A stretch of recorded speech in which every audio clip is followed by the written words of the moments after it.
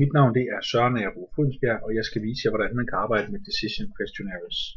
Når man laver et spørgeskema øh, og gerne vil indsamle nogle data fra øh, respondenter, så er der tre steps, man skal igennem. Det ene det er, at man skal udarbejde spørgeskemaet, så skal man lade respondenterne svare på dette, og så skal man indsamle dataene og bearbejde dem. Selve indsamlingen af dataene sker jo selvfølgelig automatisk i kraft af, at det hele det er elektronisk.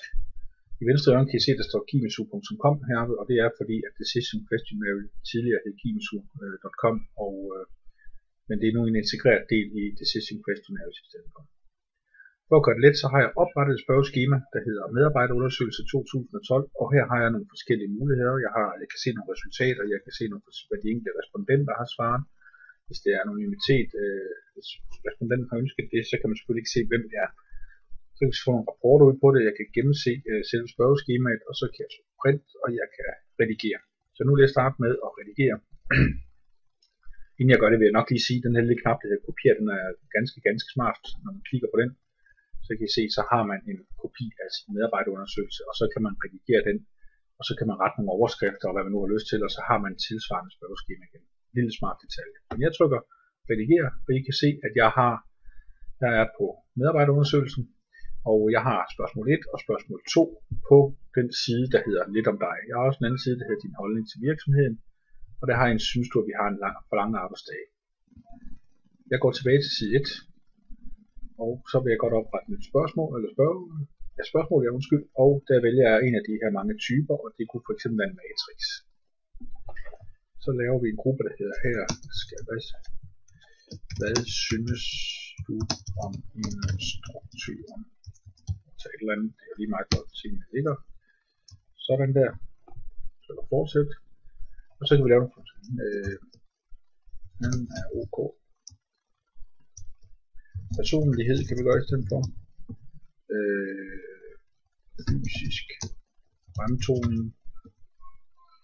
Øh, fortsat 3. Og så kan vi så sige 1, 2, 3, 4, 5, 6, 7, 8 og 10. Og jeg kunne selvfølgelig have skrevet lidt mere information på den tidligere side. Kræv svar på dette, svarer vi er til, og vi kan også lige tilføje et ekstra felt, og det skal være et flere tekstlinjer. Så vi accepterer. Og nu kan I se nede på den nu har vi matrix, hvor vi kan få folk til at uddybe. På den måde kan man arbejde med sit spørgeskema. Jeg kan også vælge at sige, at jeg godt vil have en tredje side, øh, hvis jeg har lyst til det. Men nu holder vi til to. Jeg kan også vælge lidt design her. Sådan der. Øh, hvilket jo ikke er særlig kønt. Det så har vi Spring Day, bare for at tale andet.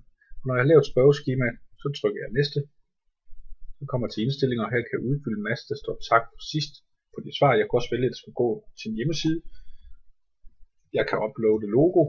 Jeg kan jamen, jeg kan gøre mange forskellige ting hernede, og det er bare et spørgsmål om lige at finde ud af, hvad det er, man gerne vil. Og nu vil jeg gerne udgive. Udgive den, det kan jeg oprette link, som jeg kan maile. Jeg kan oprette link på min på, til min hjemmeside, og jeg kan sende spørgeskema til brugere i adressebog. Det, der er interessant her, det er jo, at når man sender spørgeskema til brugere i en adressebog, så har man mulighed for at inddele dem i forskellige fokusgrupper, så man kan se sin svar på forskellige fokusgrupper. Opret link på den hjemmeside, der når man klikker her, så får man nogle link, man kan indlejre. Et lille pop-up, så får man sådan en fin pop-up, og alternativt så kan man tage den store, så får man en stor pop-up, eller man kan have et simpelt link. Jeg kan også vælge at gå et skridt tilbage, og så sige opret link, som jeg kan e-mail her. Jeg beklager lige, at jeg røg ud her. Det var fordi, jeg kom til at åbne vinduet der. Sådan der. Så vi prøver lige en gang til. Gå herind, og så trykker jeg udgive. Så oprette link, som jeg kan e-maile. Og så har jeg selvfølgelig linket her. Jeg markerer. Og nu kan jeg gøre det, at nu lukker jeg min egen decision ned, ned fordi jeg har e-mailt, eller øh, decision questionnaires ned, for jeg har selvfølgelig e-mailt det til en bruger nu. Og han eller hun åbner spørgeskemaet, og så vupti, så har vi et spørgeskema herinde. Så der starter spørgeskema, og så kan jeg svare, hvilken alder har du, sådan der, skriver selv, jeg hedder Søren. Personligt, for ikke at fornærme mig selv eller andre, så giver vi dem sådan cirka en karakter omkring, og jeg kan så lave en uddybende kommentar. Så er næste, så kommer næste side, synes du er for lange opslag? Ja. Og så afslutter vi spørgeskemaet. Jeg har nu afsluttet spørgeskemaet, og der er ikke mere sidste. Det var step 2, indsamle data. Det jeg gerne vil nu, det er nu vil jeg gerne logge ind, og så vil jeg gerne se, de svar, der er kommet, og jeg har svaret på det spørgeskema en gang. I får ikke at forvirre med, så sletter vi selvfølgelig lige kopien her. Sådan, jeg har svaret på et spørgsmål, øh, spørgsmål en gang før, og det er så svar nummer to, så nu vil jeg gerne se resultaterne. Så jeg klikker resultater, og her kan jeg så se, at hvilken alder har du. Der er to svar, og det er 100% der er svaret her. Jeg kunne vælge at få en fordeling af det grafisk, og det vil så se sådan her ud. Og vælge på få det procenter i stedet for. Vi kan også vælge at få lidt forskellige design på, og når jeg har gjort det, så kan jeg selvfølgelig vælge at printe det ud. Hernede kan jeg se de her beskriv dig selv.